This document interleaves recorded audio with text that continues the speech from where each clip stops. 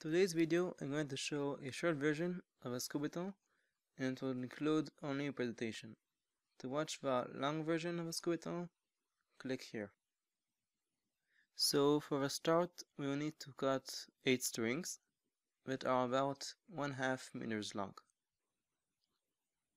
Now I'm going to take a two strings and make a square out of them and then I'm going to lose one of our strings and I'm going to take a new string and weave it in between these two strings.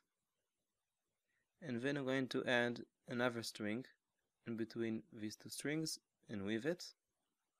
And now I'm going to take the strings and stretch it. Now I'm going to take this string and loose it.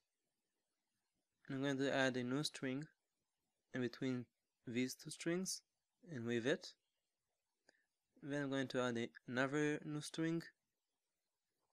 Then I'm going to stretch the strings. And then I'm going to loose this string and add a new string in between these two strings and stretch it. And now I'm going to take this string and put it in between these two strings and then weave the string and this one these two strings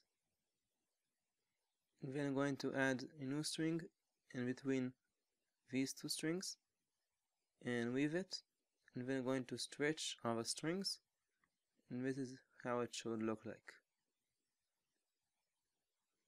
And for a second stitch I'm going to take these four strings and weave with these four strings and then I'm going to weave the rest as I showed here.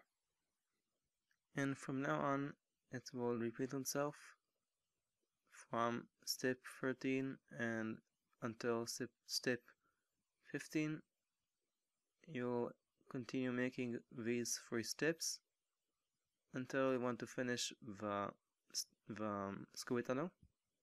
So when you want to finish the Scoubitunnel, you can have two options.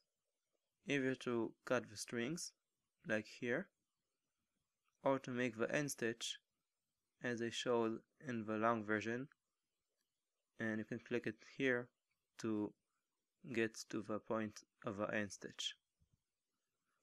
So after this you finish the Scooby tunnel.